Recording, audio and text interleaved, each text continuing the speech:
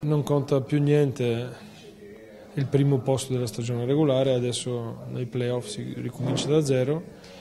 e quando parliamo di una partita singola come finale, come il V-Day, è una partita molto speciale dove non c'entra niente il lavoro di tutto l'anno, quindi noi non dobbiamo pensare per quello che è successo durante la stagione, dobbiamo concentrarsi sul nostro gioco soprattutto e il nostro atteggiamento in campo per questa partita. Macerata, l'avversario è andata a gara 3, quindi si spera sia un pochettino più stanca, però sicuramente sarà, avranno l'entusiasmo di questa vittoria con Cuneo, quindi ve li troverete caricati a mille. Assolutamente sì, poi quando si parla di una finale l'adrenalina ti fa dimenticare tutti, tutte le stanchezze e tutti i dolori piccoli, quindi lì fondamentale sarebbe eh,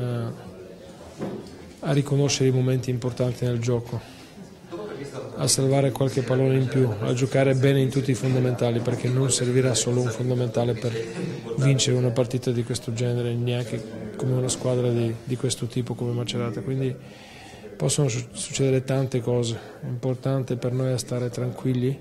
e lavorare bene gli ultimi giorni e quando entriamo in campo essere pronti ai sacrifici come sempre l'ha fatto la squadra negli ultimi anni. In questi ultimi allenamenti come ha visto i suoi ragazzi, mister?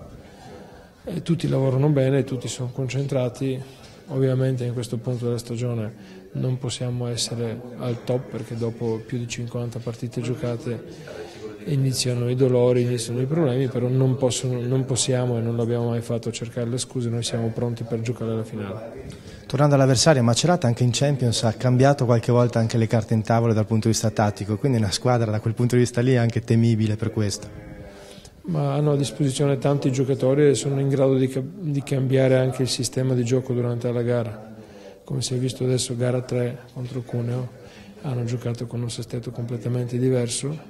che fra l'altro non, non è, stato così male, nel senso sembrava che funziona bene e, da tanto tempo. Avendo tre schiacciatori, uh, centrali forti, tre opposti, è difficile a prevedere esattamente che scelta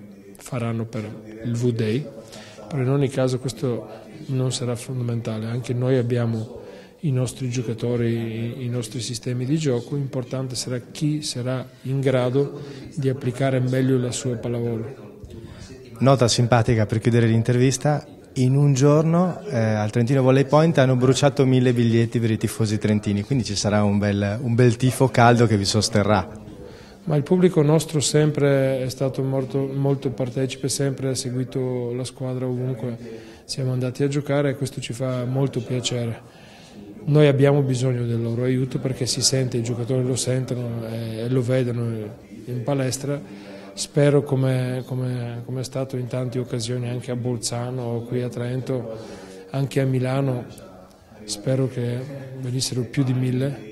che così ci aiutano, però noi lavoriamo sempre ogni giorno sodo per dare anche qualche soddisfazione al nostro pubblico, quindi insieme possiamo farcela come sempre.